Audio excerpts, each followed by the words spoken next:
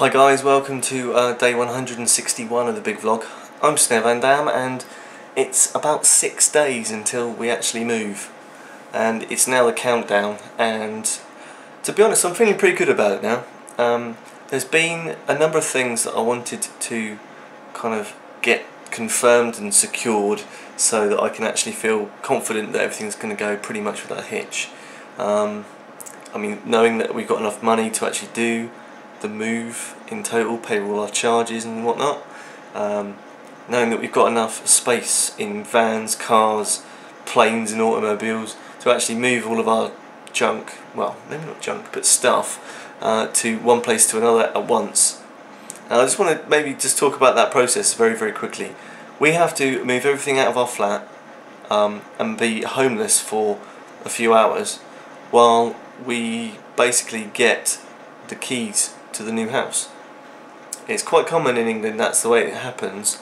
Um, I don't know if I'm going to get a chance to do a second trip, so I might have to drop things off at my dad's and then come back for the second lot, I don't know. But that's a very, very annoying thing.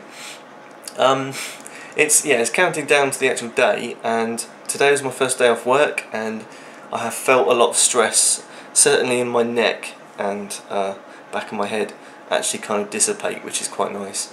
That, unfortunately, was replaced by um, some back pain that I had this morning, which is not what I want right now. I mean, of all times in the world, you know, normally back pain would stop me training, stop me playing drums. Uh, it wouldn't be so close to a house move where I need to carry a lot of heavy shit.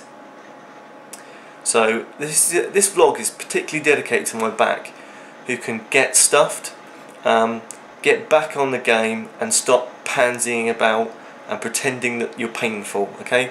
Get on it, work with me back, and we can do this.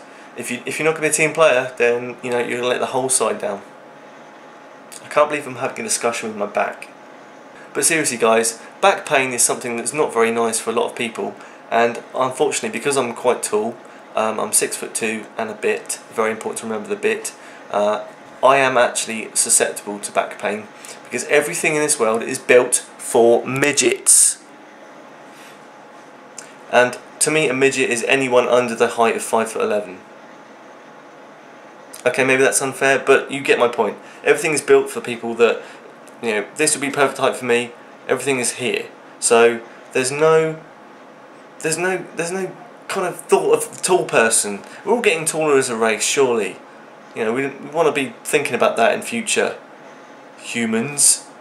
So I know I'm doing a lot of these snare cam vids lately, but to be honest, um, I'm not really doing much.